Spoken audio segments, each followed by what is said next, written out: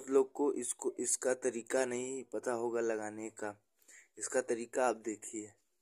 ऐसे है, जब आप दुकान से खरीदेंगे, जब दुकान से खरीदेंगे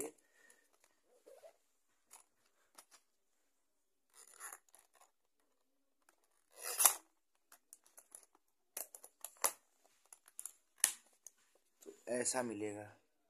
ठीक? अब जब किसी चीज़ को पेश करना हो इसमें तो